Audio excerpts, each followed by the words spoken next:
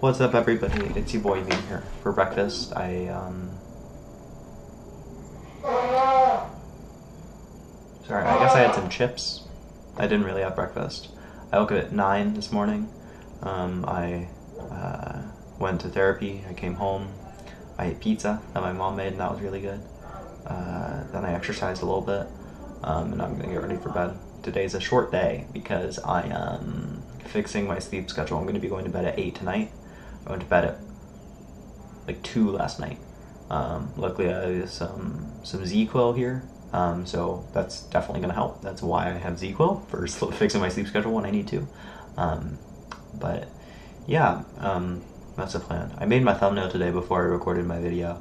I was listening to uh, "Tell the Vision" by Pop Smoke, the post-mortem release by Pop Smoke, not the version on Donda. It's the only Pop Smoke song I've ever listened to, which is probably not a good first Pop Smoke song, considering I think it's his third post-mortem record. Um, and they're sort of just, you know, when you're that many post-mortem records deep, you're kind of scraping the bottom of the barrel.